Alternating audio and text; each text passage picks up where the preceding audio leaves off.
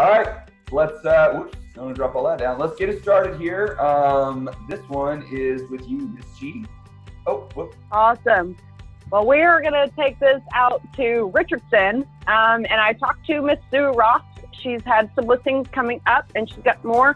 This house had uh, five showings and five contracts within the first 30 minutes that it went active. So I don't think it's on anymore, but we just wanted to display it to know the price point at 179. That's first time home buyer. Um, it is three bedrooms, two baths. It's a townhouse.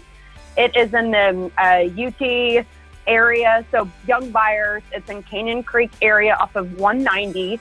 Uh, the main floor plan has casual living and dining, a half bath plus master bedroom, the basement transformation, um, and the condo. Like I said, it does. It's not going to last long. Before we could even take it off, it was already had an active open contract. So with that price point at 179, first time home buyer, it was not an investor that swooped it up. So great job, Sue, on that. And I know she's got some more coming up in the next couple of weeks.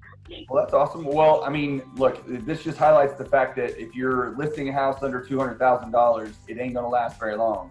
Um, Mm-mm, absolutely not.